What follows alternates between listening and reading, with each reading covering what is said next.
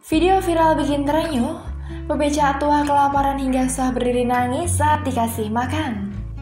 Warganet dibuat terenyuh oleh video viral seorang tukang becak tua yang menangis ketika diberikan makanan dan uang. Dilihat suara sumber.id, Selasa 16 Agustus, tampak seorang pria tua berkaus warna biru tua dan celana pendek krem tengah duduk di sebelah becaknya yang terparkir. Sesaat kemudian, datang seorang yang bawa nasi dalam kotak dan uang 50 ribu. Dia hendak memberikan semua uang itu kepada tukang becak tersebut. Tak disangka, pria itu dengan tertatih-tatih bangkit dari duduknya. Pria itu sempat berpegangan pada becaknya untuk berdiri seakan tak kuat karena kelaparan. Ketika menerima pemberian seorang itu, pebecak tua itu langsung menangis. Terima kasih, terima kasih, kata pebecak itu sembari menangis.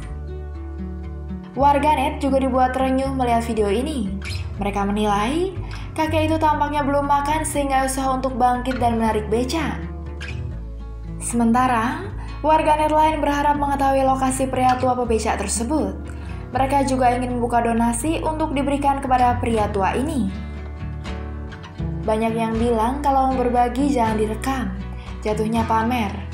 Malah aku seneng melihat video kayak gini, mengingatkan aku untuk selalu bersyukur dan berbagi rezeki, tulis Arganet.